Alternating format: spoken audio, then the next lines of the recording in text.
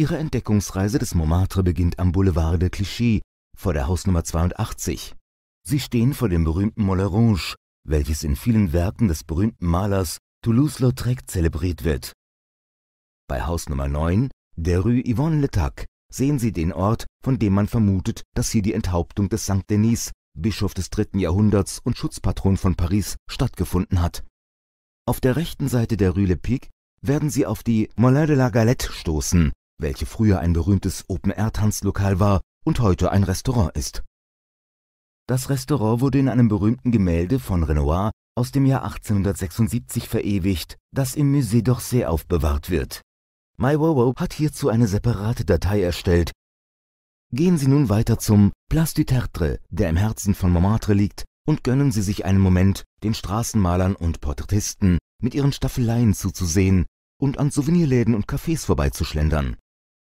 Gehen Sie nun weiter zur Rue Cortot, um dann zum nächsten Etappenziel, dem Musée de Montmartre, zu gelangen.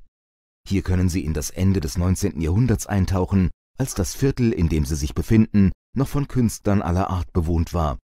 In diesem Museum wird eines der originellsten Werke der Geschichte der Malerei aufbewahrt. Sein Name ist Tramonto sull'Adriatico, Sonnenuntergang über der Adria, und wurde vom Schriftsteller Roland d'Orgelès gemalt, indem dieser einen Pinsel an einen Eselschweif hängte. In der Nähe des Place des Tétrins in der Rue de Montcenis können Sie die Kirche von Saint-Pierre de Montmartre besuchen. Es handelt sich um eines der wenigen Exemplare romantischen Stils in Paris. Die einfache Fassade aus grauem Stein stammt aus Erneuerungsarbeiten aus dem 17. Jahrhundert, während das Innere die einfache mittelalterliche Struktur bis heute beibehalten hat. In dieser Kirche, welche im Jahr 1147 geweiht wurde, können Sie die ältesten Pariser Mauergewölbe bestaunen und sogar einige architektonische Fragmente aus der Römerzeit entdecken. Und denken Sie daran, einmal um die Kirche herumzugehen, um den alten Glockenturm zu betrachten. Es handelt sich um einen mehrstöckigen Turm, der aus aneinandergereihten Fenstern besteht. Nebenbei. Man munkelt, dass der Striptease genau hinter den Mauern des Moulin Rouge erfunden wurde, genauer gesagt im Jahr 1893.